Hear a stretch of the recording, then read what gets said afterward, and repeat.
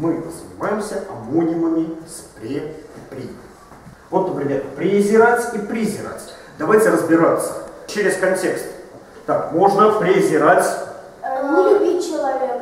ну, не любить человека. Да, очень жестко не любить, да? Презирать. Именно, например, э, считать себя выше его, кто ниже. Ну, это уже причины какие-то, да? Можно считать себя выше и поэтому презирать его. Так, еще можно. Разрывать. Как? Подозревать в чем-то и поэтому презирать, согласен? Еще? Обзывать. Обзывать как-то. Ну, опять-таки, это уже следствие скорее, да? Я его презираю, и поэтому я его обзываю как-нибудь, да? Мучаю. Короче говоря, не люблю. Но можно и презирать опасность. Это что значит? Сторониться. Да, сторониться. Нет, не сторониться, Не сторониться, это бояться. убежать. Даже не бояться. Не бояться опасности, конечно.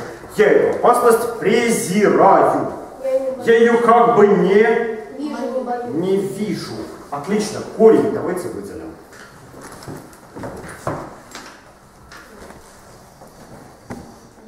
Здесь одинаковый. Давайте попробуем найти однокоренные. Тут надо тоже быть. Предупреждаю, это корень с чередованием. Корень древний. А, зеркало. Пойдет. Пойдет. Зерно. Зерно не пойдет. Давайте еще наберем какие-то словечки. Зефир. Зефир еще дальше. Зеркальный. Зеркальный, конечно. Еще. С другими приставками попробуйте. Можно не просто презирать, а можно, скажем, взирать. Я на тебя взираю. Что это значит? Я на тебя смотрю. Конечно. Я тебя вижу. Да? Значит, корень связан с значением смотреть, видеть. Об- Обзывать. Обзывать. Ну где здесь это? Смотреть, видеть. Взирать. Надзирать. Хорошо, пойдет. Это что значит надзирать? Супер удирать. Удирать. Присматривать. Присматривать. Именно так. Да? Пристально над кем-то учениц. Задирать. Задирать. Нет. Не задирать. Нам нужно за.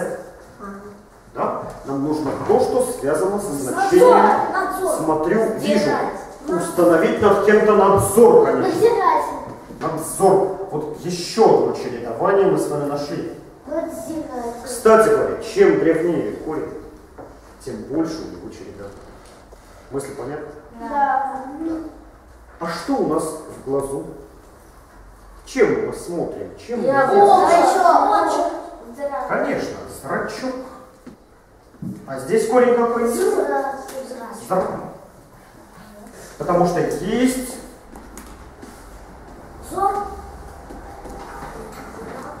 устаревшее слово. А что это? Это взор, это взгляд, зрак. А как мы называем человека, который обладает очень острым зрением? Острый, как у орла. С тем же корнем, попробуйте. С тем же корнем. Зоркость. Конечно, он обладает зоркостью. Давайте рядышком тоже запишем это словечко. Зоркий, зоркость. Еще одно хорошее словечко. Призрак. Это что такое? Это то, что не видно. То, что не видно. Куда ты? Ну, э, Это, это спрашивайте ребенка. Призрак. То, что показалось, да? Вот приставка «при», которую мы явно можем тут выделить. Полнота. Не полнота? В данном случае это, наверное, не полнота. Да? Из Так, полнота еще? привидение. А, Привидение, согласен. Как синоним. А, приз. Да. Но мы сейчас просто говорим вот об этом корне. Да? Так. Итак, он представлен в разных видах. Видите, зр, зор, зир и даже, как ни странно, зер.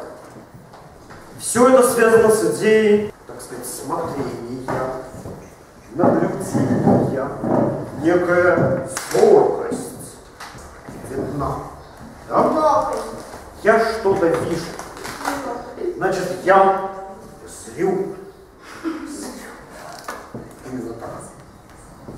Можно завязать? И действительно устаревшая зреть, отсюда наша с вами способность зрение, правда? Зрить. Давайте я напишу, что это устаревшее. Зреть в корень. Значит, смотреть, видеть. И повелительное наклонение у нас до сих пор осталось. Я говорю, зри. То есть, смотри. Смотри. Зри. Слово зрение до сих пор живо и здравствует. Правда? Да. Да? И слово «зреть» вот в повелительном наклонении, когда я говорю «зри в корень». Что это значит? «Зри в корень». Смотри в корень. Смотри в корень. В корень в каком значении? Слово.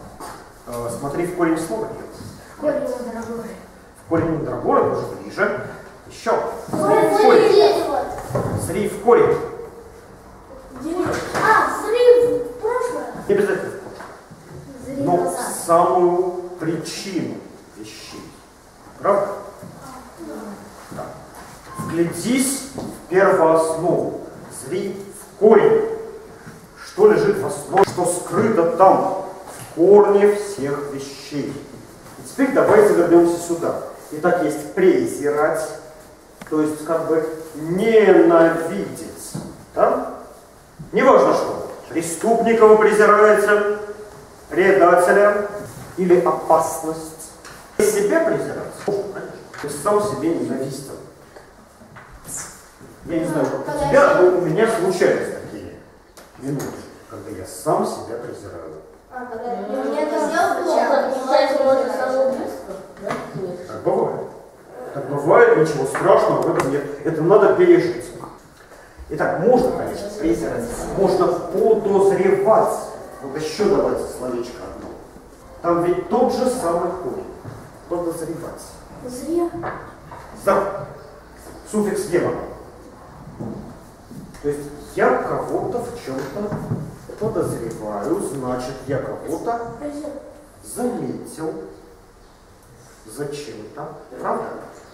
Я подозреваю, что этот человек, ну скажем, нехорош, условно да?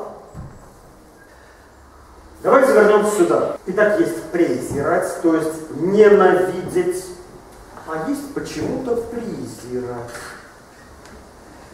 Попробуйте догадаться о значении этого слова. Может быть, входили в презирание? Как? Может, входить в презирание? А, Не знаю пока, не знаю, не уверен. Еще версия. Присматривать за кем-то. Присматривать. Находиться без призора. Это как? без презирания. То есть без, не то что находиться, а? без призора, быть беспризорником. Или быть без родителей. Беспризорный. Быть беспризорником. То есть быть действительно сиротой, без родителей, правда? Во всяком случае, без тех людей, которые могли бы за вами присматривать. Давайте подумаем. Каждый из нас может ли назвать себя беспризорником? Нет. Нет, конечно. Нет, конечно. Почему? Потому что у нас есть папа, мама, бабушка, дедушка. Папа, мама, бабушка, дедушка, повезло. Есть семья. Да, но когда они гуляют, я гуляю один. Можно ли сказать, что при этом ты беспризорник? Ну, как бы, некому проследить. Это понятно. Но ты приходишь домой. У тебя есть дом, правда? А у беспризорника дома нет. Есть. Это улица. Ты скорее гуляешь без присмотра. Вот. Если Конечно, один. ты гуляешь без присмотра, согласен. Но не без призора. И тебя назвать беспризорником нельзя. Потому что у тебя есть люди, которые за тебя отвечают. Тебя любят, тебя уважают. Значит, презирать можно. Презирать сироту. В конце XVIII века в Москве был учрежден Дом общественного презрения. Признак. Это не значит, что там всех презирали. Это значит, что там принимали там сирот и присматривали за ними. Это воспитательный дом. Детский сад. Это дом для детей брошенных. Детский дом. Первый наш детский дом. Дом общественного. Присматривать. Очень хорошее начинание было.